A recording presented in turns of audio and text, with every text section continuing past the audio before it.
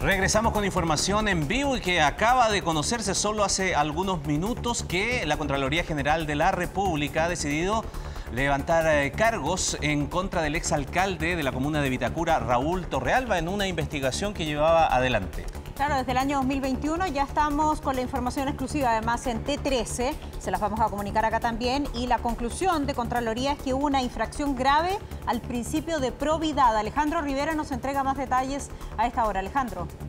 ¿Qué tal? Buenas noches, claro. Y tiene que ver con esta investigación que eh, buscaba conocer de qué forma se habían realizado transferencias eh, de dinero desde la municipalidad hacia estas organizaciones funcionales creadas durante la administración del exalcalde Raúl Torrealba, los conocidos como VITA, eh, y que de acuerdo a la ley orgánica de municipalidades solo se pueden realizar por el alcalde y con la aprobación del Consejo Municipal. Pues bien, tras el cierre de la etapa de, de indagatoria, de investigación realizada por la Contraloría, se determinó que no era solamente el alcalde quien aprobó aprobaba esto, sino también otro funcionario, en este caso José Bucarey, quien durante años estuvo trabajando como administrador municipal.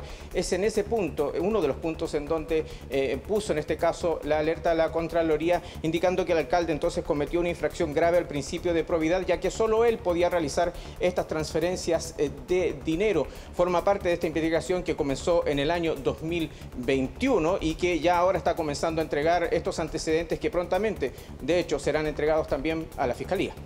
¿Qué implica esta situación de aquí en adelante para eh, el exalcalde de Vitacura, Alejandro?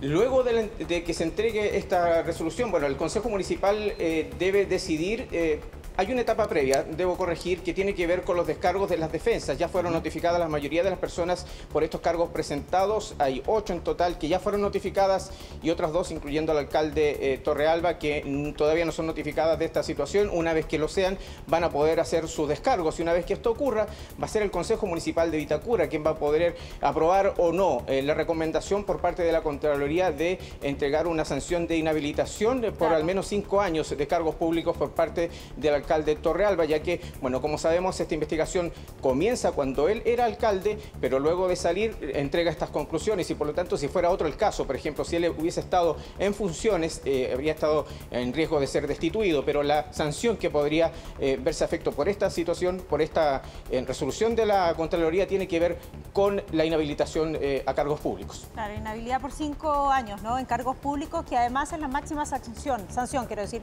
que puede efectivamente ejercer la Contraloría. Ahora, la gran pregunta es cómo se suma esto a la investigación que lleva adelante la Fiscalía.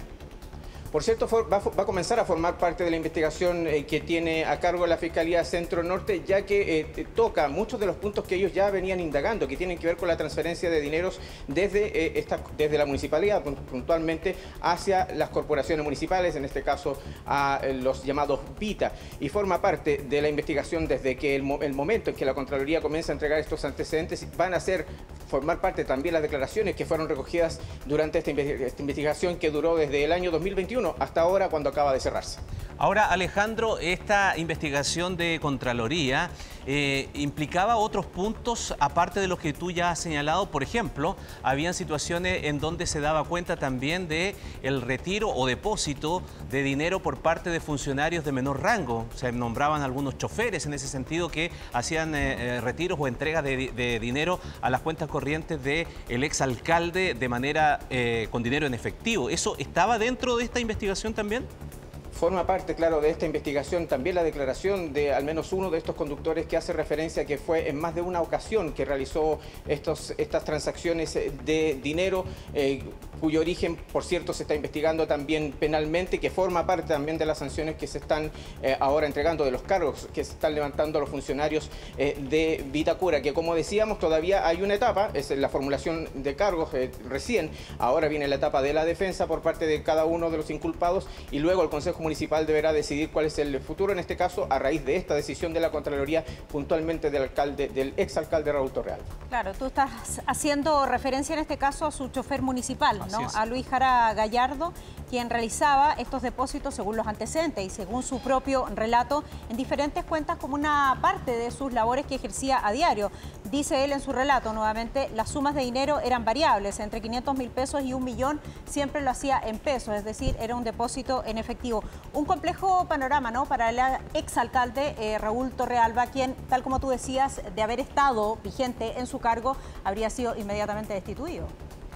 Claro, es una de las eh, posibilidades ante esta decisión de la Contraloría. Ahora, eh, como, sabemos, ya esto se va a sumar a la lista penal que considera otro tipo de sanciones, por cierto. Eh, y por, lo tanto, la preocupación está en, quienes son inculpados ahora de poder levantar una defensa que, pueda, que puedan utilizar en este proceso, que probablemente también tendrán que utilizar posteriormente en el proceso penal, que, insisto, tiene otro tipo de sanciones, involucra también cientos de millones de pesos que son investigados, en este caso, por presuntas transacciones que todavía no están del todo claras de cómo ocurrieron hacia las corporaciones Vita e incluso eventualmente hacia el propio exalcalde Raúl Torral. Alejandro, y muy breve, si bien el alcalde ya no estaba en ejercicio, por lo tanto una eh, presunta o eventual inhabilidad no lo afecta, eh, ¿habían otras personas que sí estaban en este instante recibiendo todavía remuneraciones? Sí, habían personas que estaban todavía, están todavía como funcionarios, de hecho, y, van, a, van a ser notificados de esta situación también.